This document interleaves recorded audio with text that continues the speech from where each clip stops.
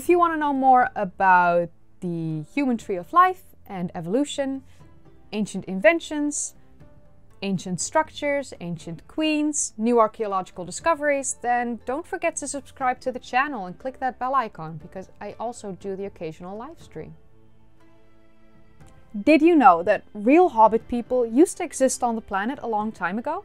Hold up, hold up. Hobbitses, you say? I hear you think. Little hobbitses used to roam the earth? Now, you might wonder, what is she on about and how long ago would this have been the case? Well, first of all, no, I did not turn into a Tolkien themed channel. And I'm not telling you grand tales. And the time frame of when these archaic humans would have roamed the earth would have been about 50,000 to 190,000 years ago at least. My name is Kayleigh, and in this video I'm going to give you a quick overview of Homo floresiensis, who are indeed often referred to as hobbits by the scientific community, and I would like to note upfront that this is not a complete deep dive, as there will be more separate videos about Homo floresiensis in the future, including one or two interviews with experts on Homo floresiensis, because I do want to do them justice. They deserve that. So first let's take a look into the discovery of the first fossils that showed the existence of Homo floresiensis, as this did not happen too long ago actually. Back in September of 2003, a team of archaeologists was looking for evidence of the original migration of modern humans from Asia to Australia. So these archaeologists were on the Indonesian island of Flores when they discovered a nearly complete skeleton of a small person in the Liang Bua cave and this skeleton is now known as LB1. In the excavations that followed in the years after, there have been seven more skeletons found in the cave. Usually, when archaeologists find such old bones, they are fossilized, but that was not the case, which means that the bones had a consistency of wet blotting paper. So once the bones were exposed from the soil, they had to be left to dry before they were able to dug them up. There are now a total of 15 individuals found of Homo floresiensis, although some of these individuals are only represented by teeth and bone fragments. In the cave, the archaeologists found a number of stone tools that were quite small and would fit perfectly to be used by these small humans. And I hear you think, how small are we actually talking about here? Like, how small? How little? How small would they actually be? I called them hobbitses for fun in the opening of the video because, I mean, I love Lord of the Rings and I love to say hobbitses, but how small are they actually? The tallest skeleton that they have found so far stood at 1.1 meters, which is 3 feet and 7 inches. That's small. And they would have weighed approximately 30 kilograms, which is about 66 pounds on average. Like I said, that's small. So if we look at the description of the height of a hobbit given by Tolkien, Homo floresiensis falls exactly within those measurements. Them filthy hobbitses. Okay, but back to being serious, because we know I like to have fun, but this is still a serious video. Because I'm not sure about you, but I am extremely intrigued by these archaic humans who lived in the same time frame as Neanderthals, Denisovans, modern humans, and the possible subspecies of Homo longi that we talked about in the previous video.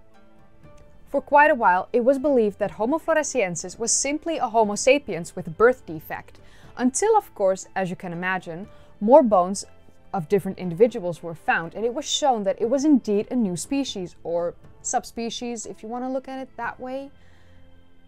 Species, subspecies, lineage, we talked about that in the previous video. Whatever you want to call it. But Homo floresiensis most likely shares the same ancestor as modern humans, Neanderthals, and Denisovans if we go back far enough. But their lineage would have split off much earlier than the other mentioned subspecies. For a while, researchers were felt inclined to put Homo floresiensis in its own genus, known as Sundanthropus floresianus, which translates to Sunda human from Flores but it was ultimately decided to place Floresiensis into the Homo genus. especially because Homo floresiensis has several dental similarities to Homo erectus, which could point to Homo erectus being the ancestor of both Homo floresiensis and that they have that ancestor in common with modern humans, Neanderthals, and Denisovans. It's a possibility. The ancestors of Homo floresiensis must have been from one of the earliest out of Africa hominid migrations, reaching the island approximately 1 million years ago.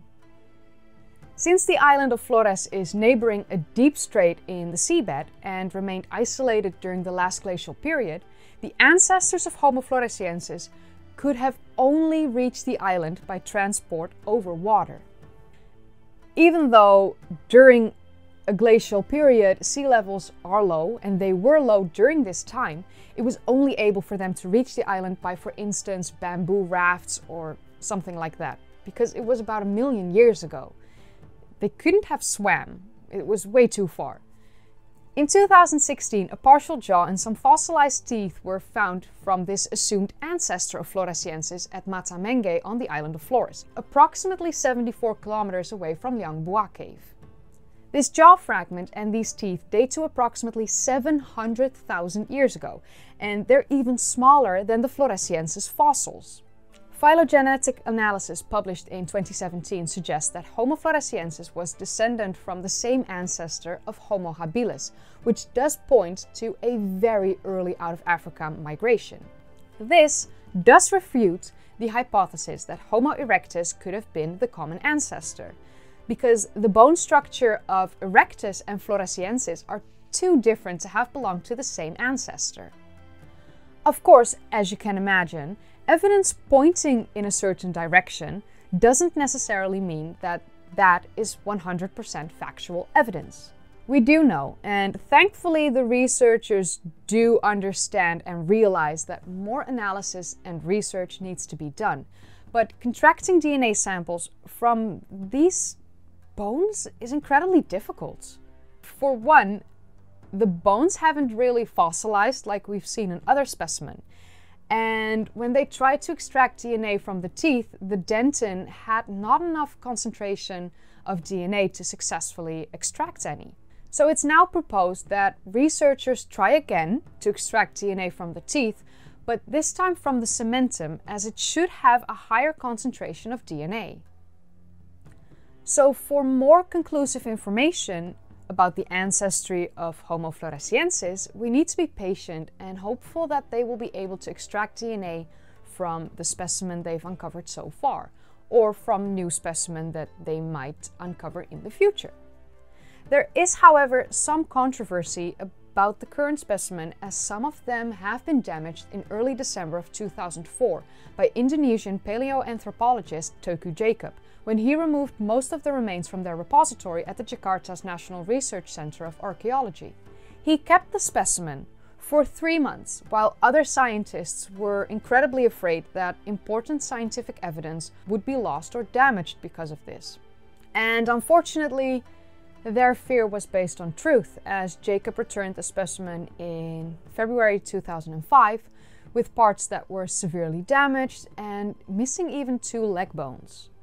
That's not okay. I would be pissed if I was part of the scientific community back then. I would have been pissed. So I've decided to create a separate video about this and the controversy surrounding paleoanthropologist Teuku Jacob and the effect that his work had on other researchers and the Liang Bua cave. LB1's body seems to be a bit smaller than for instance Lucy from the Australopithecines who lived approximately 3 million years ago, and Homo floresiensis might be the smallest member of the archaic human group that evolved from the Australopithecines. So it is believed that their small size is an effect of the natural process of insular dwarfism, which is the process and condition of large animals evolving or reducing their body size when their living area is limited to a small environment. This happens primarily on islands. And lo and behold, Homo floresiensis was discovered on the island of Flores. So this hypothesis, therefore, checks out. So let's take a quick look into the morphology of Homo floresiensis. What are some of the key features of what they looked like? They were small, as I mentioned earlier, approximately 1 meters and weighed approximately 30 kilograms, which isn't much. They had hunched shoulders and a wide pelvis, giving them a very different body shape than us modern humans. We have straight shoulders and a small pelvis, or like a narrow pelvis. Their cranial shape was long and low, resembling the shape of Homo erectus more than Homo sapiens. They had a receding and small forehead with a flat face and a narrow nose. We have, well, I have a five head, but I mean, I think all y'all know that by now. My forehead is huge!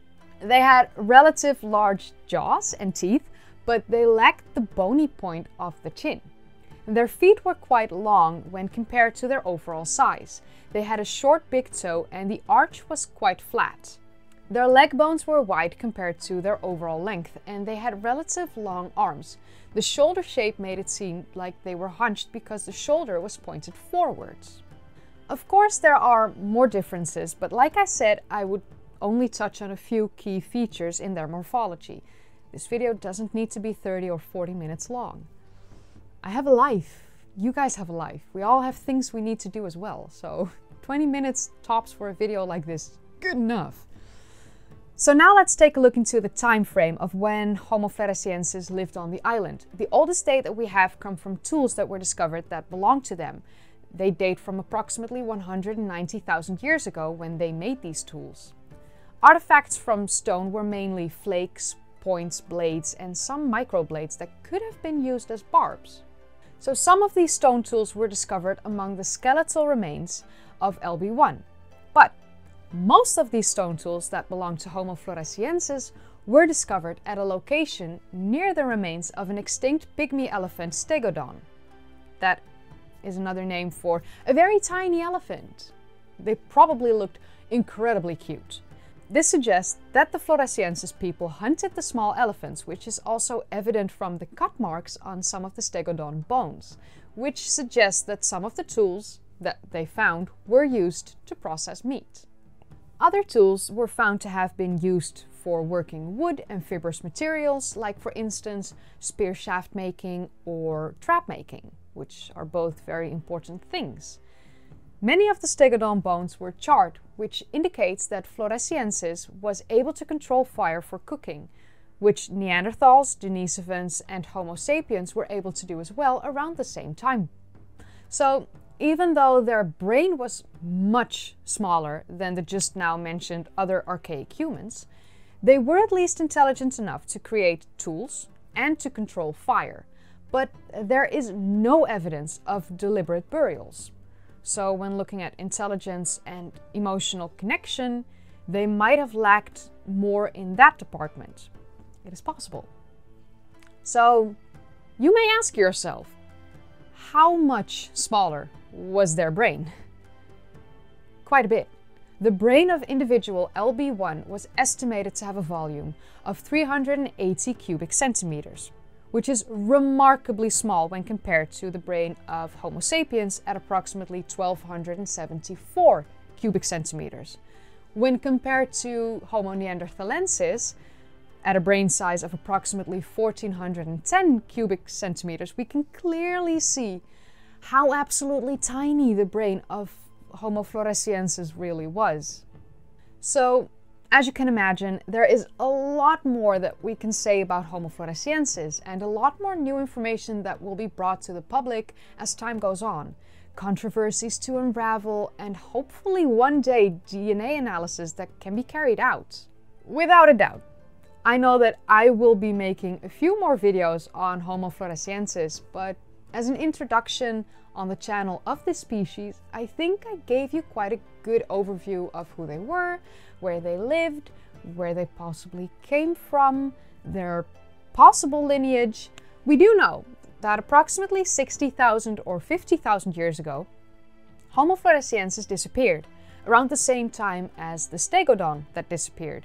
And this was also the same time frame when modern humans arrived in the area. The youngest bone of a Homo floresiensis individual date from approximately 60,000 years ago. And the youngest stone tools that we've discovered date from approximately 50,000 years ago. So that's where those two time frames come from. But as you can see, there is a difference of 10,000 years. Researchers have found bones from modern humans dating to approximately 46,000 years ago in the same cave. So this does indicate that the arrival of modern humans on the island and in their environment that they replaced the Floresiensis inhabitants. Many archaeologists and anthropologists believe that it was due to the arrival of Homo sapiens in the region that Homo floresiensis and the Stegodon disappeared, that it was the modern humans who had a hand in the demise of the little hobbitses. So of course we won't be sure as long as it's just a smoking gun. We still need to find the bullet if we want this to be factually proven instead of it being a hypothesis. But that's the beauty of science. It keeps evolving. We will uncover new information, create new techniques, and as time goes on, we will learn more and more about humanity's ancient past and the human tree of life. If you enjoyed watching, then don't forget to give it a thumbs up, subscribe if you'd like to see more of these kind of videos, and click that bell icon if you want to be notified every time I upload. If you haven't seen my previous videos yet, then click the card in the upper right corner, or click one of the links in the description down below, or click a video in the end card. I always cater to your needs. And I would like to say a massive thank you to everyone supporting me and the channel, my channel members, my patrons. I'm eternally grateful for your support of me. Y'all are some filthy hobbitses. Leave me a comment and tell me where you as a hobbit come from. I'm a hobbit from the Netherlands, but I'm not a hobbit because I'm way too tall.